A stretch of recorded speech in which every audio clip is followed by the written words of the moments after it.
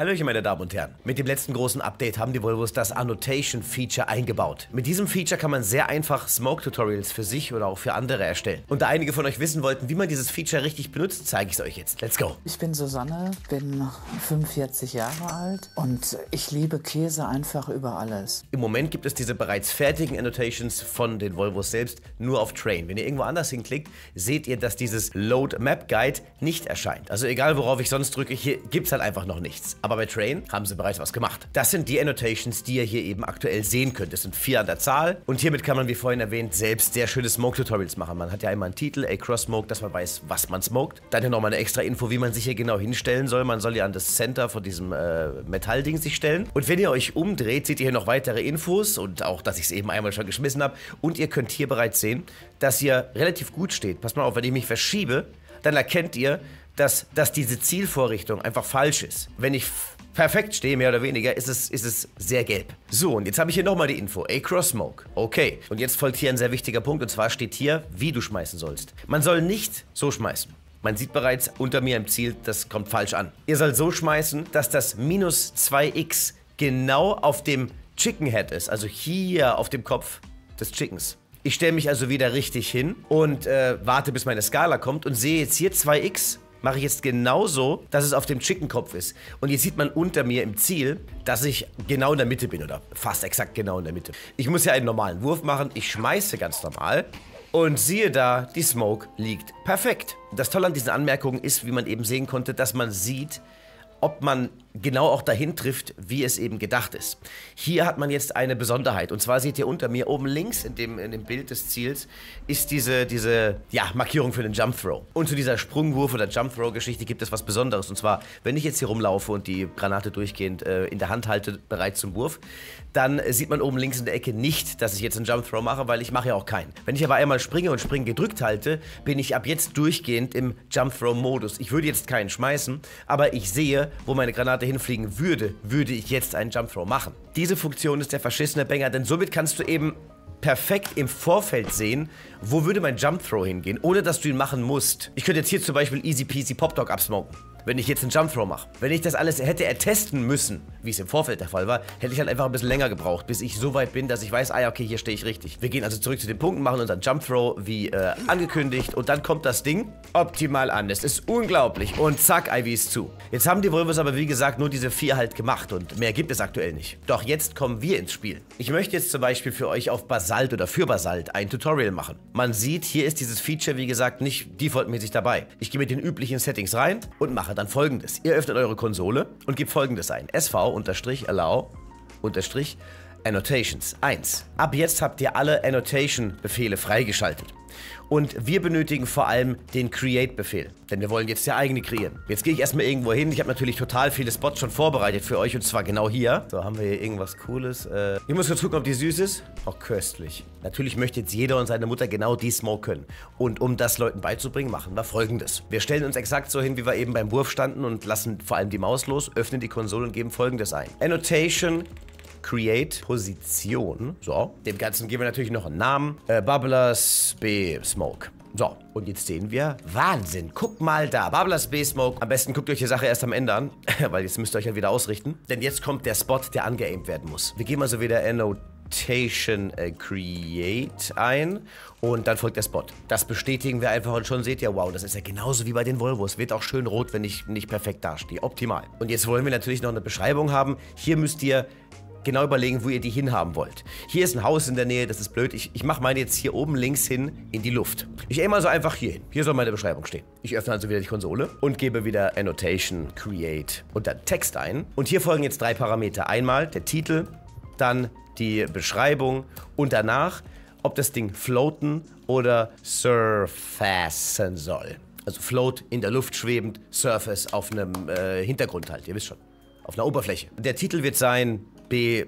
Smoke. Wir halten es sehr einfach. Beschreibung: Sprungwurf, du Dackel. Und hinten dran einfach noch Float. Und dann hittet ihr Enter, zack. Und jetzt ist alles ready. Ich aim also genau hier hin.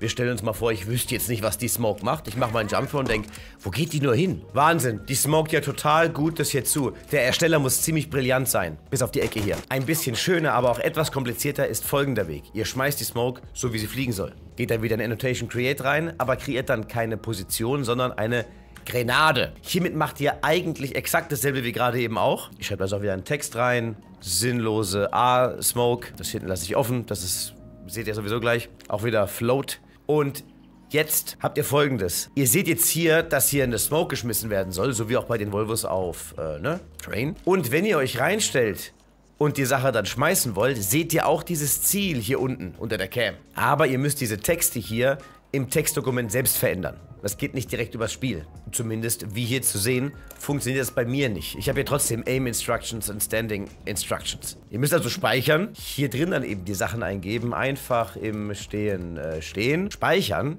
rausgehen, zurück ins Spiel gehen, reloaden und dann einfach im Stehen stehen und deine Mutti aimt. Dann ist alles gut. Ja, und das ist eigentlich schon die halbe oder, oder dreiviertelte Miete. Aber natürlich wollen wir die ganze Miete, darum noch ganz kurz ein, zwei weitere Worte. Annotation, Create, Text. Das lassen wir einfach mal leer und hier schreiben wir dann äh, LOL rein. Als nächstes dann Float und hinten dran Face Player. So. Jetzt haben wir dieses LOL und das zeigt immer zu uns oder schaut uns die ganze Zeit an. Des Weiteren gibt es ja Smokes, die man mitunter laufend schmeißen muss. Also so zum Beispiel. Mit den Annotations können wir es uns einfacher machen. Wir könnten zum Beispiel folgendes basteln. Wir wollen eine Smoke einfach nur Linksklick schmeißen und zwar genau während der Bewegung an diesem Punkt. Ich habe jetzt eben die Position Lauf erstellt, dann unseren Spot und jetzt erstellen wir eine Linie, Line, und die machen wir hier auf einem Surface, also auf einer ähm, Oberfläche. Und wenn wir die Linie jetzt hier beginnen möchten, schreiben wir noch New dazu. So, jetzt ist genau an dem Punkt, zu dem ich hinaime, ein Linienanfang. Den kann man jetzt nicht sehen. Jetzt laufe ich das Stück, das man hat laufen soll und meinetwegen soll man ab hier dann schmeißen. Konsole wieder auf. Wir machen das gleiche nochmal, aber ohne New. Also Annotation Create Line Surface. Ich drücke Enter. Und schon haben wir hier eine weiße Linie. Ich kann mich jetzt also hier reinstellen und mich halt alignen. Das ist jetzt halt hier mittelmäßig schwer, weil ich halt nirgendwo anecken kann. Jetzt kann ich hier oben halt hin. Äh, man sieht, das Ende der Linie ist jetzt nicht perfekt gewählt hinsichtlich unserer Kreise. Aber das ist ja auch nur ein Beispiel. Was ihr jetzt noch beachten müsst, ist folgendes. Ich bin immer noch im Linienmodus. Ich könnte die Linie bis hier unten auch noch hinziehen. Oder auch so schief. Mit demselben Befehl. Bumm. Es geht einfach immer vom letzten Punkt zu dem neuesten, wo du gerade hinaimst. Wenn du jetzt feststellst, oh, die Linie wollte ich gar nicht machen. Dann nutzt du einfach diesen Befehl hier. Annotation delete previous node. Also wir wollen diese, diese, diese letzten Node hier entfernen. Zack. Jetzt ist der Node entfernt, man kann es aber noch nicht sehen, weil man die ganze Sache neu laden muss. Damit auf keinen Fall irgendwas verloren geht, speichere ich aber jetzt erstmal ab, falls ich irgendwo noch andere Sachen bereits hingebaut habe und die noch nicht abgespeichert habe. Um zu speichern, gibt ihr einfach Annotation, Unterstrich, Save, Leerzeichen und dann den Namen ein, also so wie das ganze Ding heißen soll. Und nun Annotation, Reload. Und jetzt ist die Linie weg. Wenn ihr diesen Linienmodus jetzt abbrechen wollt, ich wäre jetzt übrigens immer noch in dem Modus drin, also ich könnte jetzt auch hier hin aimen und dann äh, das hier machen und dann hätte ich jetzt hier auch wieder eine Linie. Wenn ich das nicht möchte, dann muss ich halt einfach wieder ein New da hinten dran setzen, also sobald ich eine neue Linie machen möchte. Das heißt, wenn ich jetzt hier noch einen Strich hin machen wollen würde, damit man das besser sieht, ab wann man abwerfen soll, würde ich jetzt einfach folgendes machen, New, zack, jetzt gehe ich hier rüber, ohne New und dann habe ich, ja, mein Krepel Ding. Ihr könnt euch sicherlich vorstellen, was für Zielhilfen man damit basteln kann. Man könnte auch irgendwas zeichnen für den Spieler, dass er sieht, ah, okay, ich muss hier dieses äh, und jedes machen. Jetzt gibt es noch eine Sache, die man in-game auch zeichnen kann, und zwar Linien nicht auf den Oberflächen, sondern in der Luft. Wir nutzen also hier auch wieder unseren Annotation Create Line Command und schreiben jetzt aber dann hinten dran Float und nicht eben Surface, auch wieder New, zack. Jetzt haben wir hier einen Punkt ungefähr auf der äh, Schniepelhöhe. Ich gehe jetzt einfach ein bisschen weiter zurück und ihr werdet jetzt gleich sehen, was ich mit Schniepelhöhe meine, zack. Und schon haben wir hier einen weißen Strahl also doch ziemlich, ich würde sagen, etwas über dem Knie. Hm? Und ja, damit kann man eben auch ganz tolle Sachen lernen. Und die ganze Sache ist jetzt auch benannt. Und zwar ist das die Schniedellinie. Diesmal mit dem Befehl Surface anstelle von Float beim Text, damit es eben nicht in der Luft rumschwabbelt, äh, sondern eben auf dem Boden steht, also auf der Oberfläche. Was jetzt natürlich noch wichtig ist, ist folgendes. Ihr wollt das Ganze ja auch speichern können und an eure Kumpels dann verschicken. Wir gehen also davon aus, ihr habt jetzt hier die gesamte Map voll mit Notations gemacht, ihr habt voll die coolen Ideen, wenn man sich hier hinstellt und das Smoke schmeißt, dann smoke man sich selbst ein und so weiter und so fort. Ihr seid also sehr stolz. Jetzt dürft ihr auf keinen Fall weggehen, weil die Sachen sind, soweit ich weiß, nicht gespeichert. Ihr müsst es von Hand speichern und das geht so. Save, Basalt mit Babla. 1, 2, 3.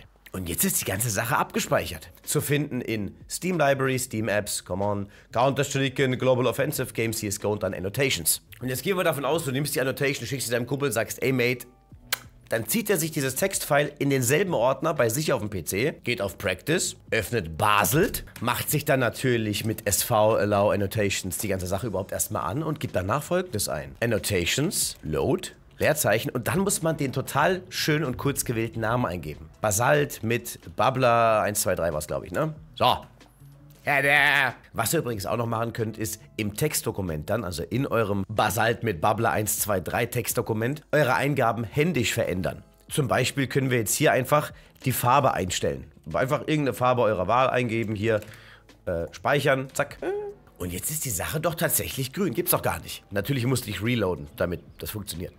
Ja, spielt damit ein bisschen rum, tobt euch aus. Man kann wirklich viel geilen Scheiß machen. Ich werde natürlich logischerweise rangehen und die ähm, zukünftigen Granaten- oder Smoke-Tutorials alle mit sowas ausstatten. Also ich zeige im Video kurz, eigentlich muss man es fast gar nicht mehr zeigen. Wichtig ist, dass in der Videobeschreibung das Textfile ist, das ihr euch laden könnt, um die Granaten dann zu machen. So. Ich hoffe, ich konnte euch annotation-mäßig ein bisschen weiterbringen. Es ist wirklich ein sehr geiles System. Banger-Update oder Update-Brocken, den sie da gebracht haben. Hinzu kommt natürlich dieser ähm, Jump-Throw-Toggle-Modus, dass du im Practice durchgehend sehen kannst, wo die Granate hinfliegen würde, wenn du Jump thrown würdest. Sehr, sehr geile Quality of Life und Service Updates. Ich ziehe es dann direkt durch. Für euch gibt es noch eine P250 Franklin zu gewinnen. Greift einfach zu. Äh, wenn man mitmachen möchte, schreibt man einfach, wie man diese Annotations findet. Das Video geht schon viel zu lang. Vielen, vielen Dank für die Aufmerksamkeit, fürs ähm, Liken, für die Kommentare. Sehr, sehr edel von euch. An alle Neuen willkommen hier bei den Bubblern und kommt gerne im Stream vorbei. Dort gibt es ja aktuell dieses Glove Giveaway. Soll ich es euch zeigen? Komm, ich zeige es euch. Und zwar gibt es auf Twitch für euch diese Gloves hier. Der Link ist in der Videobeschreibung. So, ja, äh, danke für alles. Bye, bye. Mit Instagram kleben die Sachen ziemlich einfach. Von Papa wünsche ich mir 100 Rollen. Dann zur Weihnachtszeit, dass ich mal langsam ein Kartoffelflip esse. Denn dann gib mir deine dicken fette Mutter auf die Instagram-Messe.